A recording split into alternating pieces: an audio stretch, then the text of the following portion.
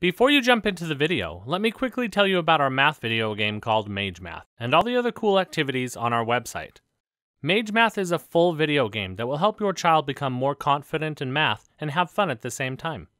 On the website, we have all our math videos, math worksheets, virtual math escape rooms, math mysteries, and more learning activities. You can find the game and all our amazing website content at magemath.com. There will be a link in the description as well. Hello, guys. Thanks for joining us today. We are inside one of Merlin's magic rooms where he works on potions. It is a pretty cool room, and I am excited to see some magic. The only problem we had is number one drank one of the potions in the room called invisibility, and now he's invisible, and we can't find him. Hey, number one, can you just tell me where you're at?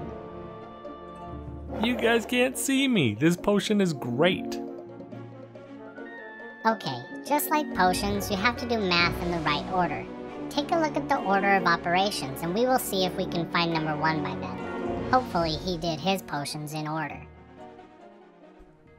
Evaluate the expression 8 times 5 minus 10 divided by 5. To evaluate this expression, we need to follow the process called order of operations. It's the order in which we perform the operations in the problem we can use the acronym PEMDAS to help us to remember the order of operations.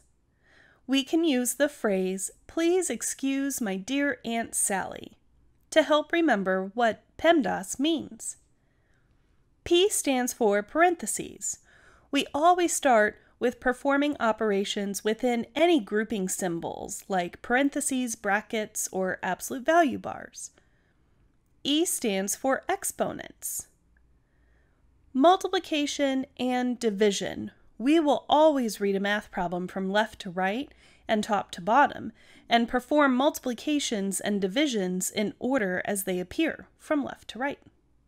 And finally, addition and subtraction. Again, we will work the math problem from left to right and top to bottom and perform any addition and subtraction in that order. Okay, let's look at our problem. In this problem, the operations from left to right are multiply, subtract, divide.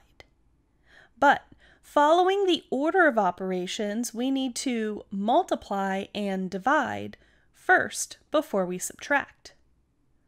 So the first thing we're going to do from left to right is multiply. 8 times 5. Well, that gives us 40. So we rewrite the rest of the problem. 40 minus 10 divided by 5. Next, we need to divide. So 10 divided by 5 is 2, and we leave the 40 and minus sign. So now we subtract. 40 minus 2 is 38. Nice work. If we did not follow the order of operations, the solution would be totally different. Let's see. If I would just work the problem from left to right, we would still start out with 8 times 5, which is 40. But then we would subtract. 40 minus 10 is 30. And 30 divided by 5 is 6. 6 is not the correct answer because we did not follow the order of operations. All right, let's try another problem. Use the formula for the surface area of a cube a equals 6s squared to find the surface area of a cube with a side length of 1 half. In this problem, we need to start by substituting 1 half into the formula for s. And then we're going to apply the order of operations. We'll look at the exponent. 1 half squared is 1 fourth. So now we need to multiply 6 times 1 fourth, which gives us 6 fourths, and that fraction can simplify to 3 halves. So the surface area of the cube is 3 halves square units.